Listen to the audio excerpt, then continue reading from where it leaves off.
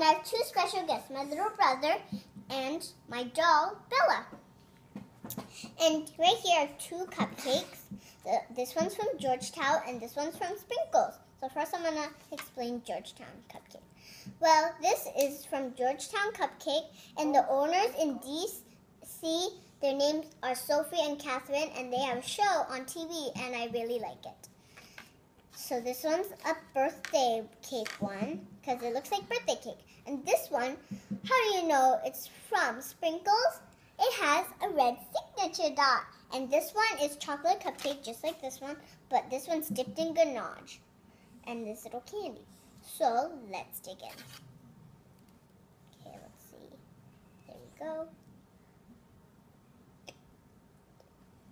It's really good. The icing is good.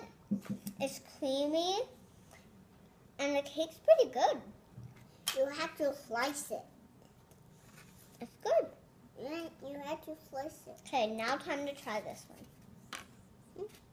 You have to slice it.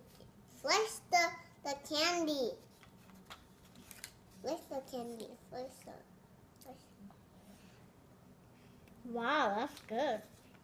Well, this one, the icing is very sweet, and this one, since it has ganache, it's Yeah. not very sweet. But Uh-huh. that's what my mama likes.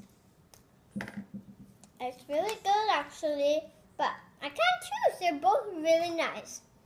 And Bella, which one do you think you like? I like the. Um, this one, the sprinkle one. Yes. Okay. So, Kenna, which one do you like? That one. Okay. And I, I like both of them. So, comment down below which one you think it would be fit your personality. Bye, everybody.